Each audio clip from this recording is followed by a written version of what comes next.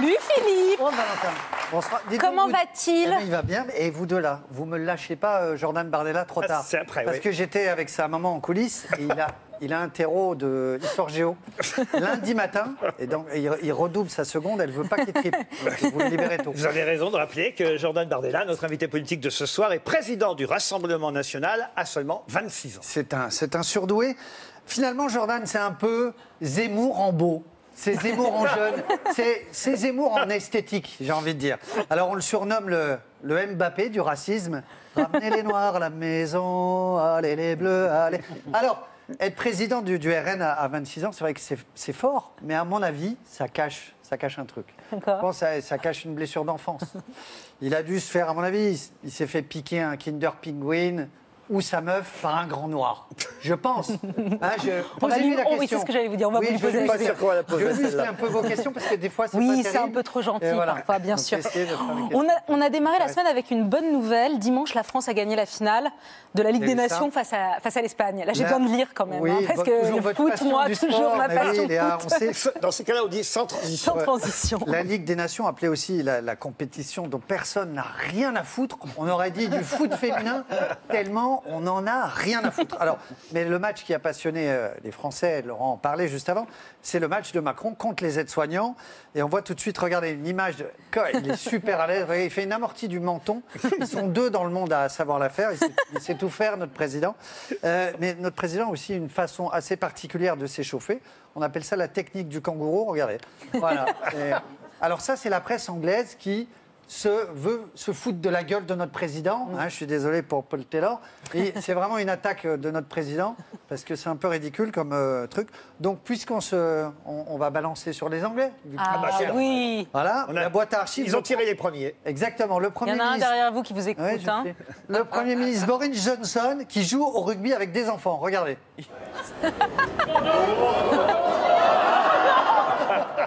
Il le défonce. Alors, en général, vous savez, après ces vidéos, on dit tout de suite, alors, on s'est renseigné, la personne va bien.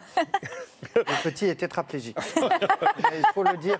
Revenons au match d'Emmanuel Macron, parce qu'il faut quand même rappeler que c'était un match euh, caritatif pour la bonne cause dans le cadre de l'opération Pièce jaune, initiée au départ par Bernadette Chirac, Bernadette- rattrapée par Brigitte Macron. Bernadette. Chirac, mais qui ne jouait pas, vous avez remarqué. Madame Chirac, non. Elle était absente de la pointe de l'attaque où elle a beaucoup manqué elle- pour cause de pubalgie, une vilaine pubalgie qu'elle ne soigne pas. Elle sera de retour dans trois semaines. Euh, bientôt le ballon d'or, Bernie? Sky is the limit, on croise les doigts pour Bernadette. Philippe, vous avez voulu réagir aussi sur la vidéo d'une ado qui a d'un ado qui a bousculé sa prof Oui. et qui a été très commentée. Le métier de prof n'est pas simple, mais il y a aussi des bonnes nouvelles pour eux. Jean-Michel Blanquer les augmente de 29 euros. C'est pas vrai. Vingt- 29, eu- 29 euros Mais c'est fou, 29 euros Oh Oh, 29 euros 29 euros pour les profs, et pas par an, hein, par mois. Ça a dire que- réveillé Beaugrand, cette musique. Ouais. Ah oui, du coup, ils seront au bureau. tirage du loto, je suis désolé. Ah oui, ouais, c'est la bière. Non, mais ça fait quand Une même autre- 5 euros par semaine de bam qui va tomber toutes les semaines. Alors bien sûr, euh, les profs, on va pas les laisser comme ça. Ils seront suivis par un psychologue de la Française des Jeux pour pas qu'ils pètent les plombs. Parce que 29 euros, on va pas les lâcher dans la nature comme ça. Les mecs, euh, hein, n'ont pas l'habitude. Des grosses sommes. Une autre séquence a fait le buzz cette semaine. Pierre, Oui. Pierre Ménès, de Oui. retour dans, dans les médias, tous les médias, après ces affaires de harcèlement. Oui, celui qu'on surnomme le Hugh Grant du ballon rond, le best friend forever de Marlène Schiappa, ou Pierrot la tendresse, is back. Alors au début de la séquence, on sent Pierre Ménès très à l'aise avec le ballon et il attend l'approbation d'Estelle Denis, qui ne vient pas vraiment. Vous allez voir, regardez. J'ai des regrets sur le baiser à Francesca que j'ai fait dans une émission d'Estelle, où d'ailleurs c'était passé à l'époque totalement crème. Euh, non, pas vraiment. Il, a- il- il veut de l'aide, J'avais il pas vu demande de l'aide, et puis non, là, pas vraiment. radical. Alors, Pierrot, refais un tour de terrain. T'es pas chaud là pour parler aux femmes. Si t'es sage, tu auras le 06 de Léa. Hein que je n'ai toujours pas. Affaire judiciaire, parce que je sais que vous aimez bien ça. Ah, Euh, ma je- petite bah, si. Euh, C'est ma petite passion. Manifestement, l'affaire Jubilard, ça vous plaît beaucoup. Cédric Jubilard a été auditionné pour la première fois euh, hier vendredi, depuis son incarcération.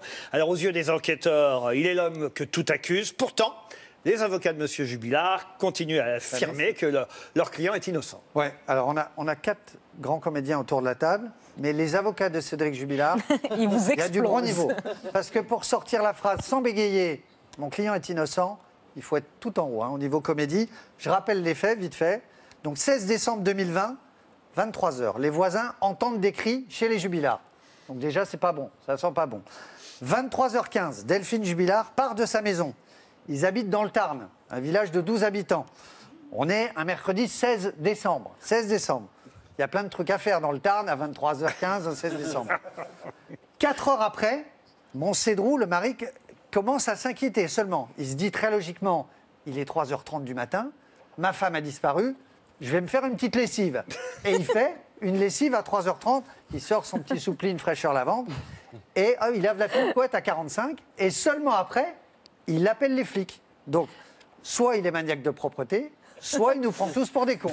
C'est un, un des deux. Mais alors, heureusement pour lui, il a, il a une nouvelle compagne.